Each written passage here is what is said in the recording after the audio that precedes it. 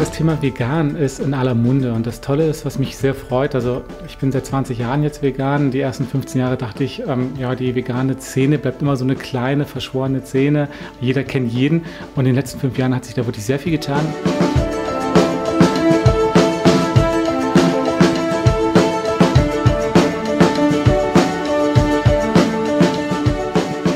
Worauf ich wirklich sehr stolz bin und was mir auch sehr freut, ist einfach die Schulungen von großen Unternehmen. Ob das auch die Deutsche Bahn ist oder Bayer, die interessieren sich natürlich für das Thema vegan.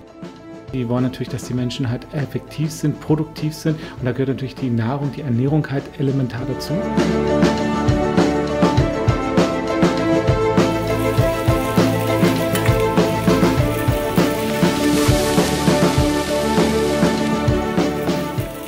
Was ich äh, erfahre, ist, wenn Menschen gerade im höheren Alter vegan werden, dass sie wirklich eine komplette Veränderung haben.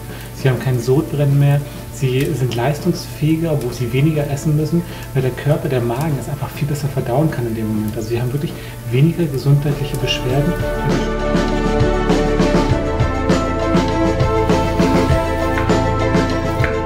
Das vegane Kochen in Deutschland ist relativ schwierig zu bewerkstelligen, weil du keine Ausbildung machen kannst.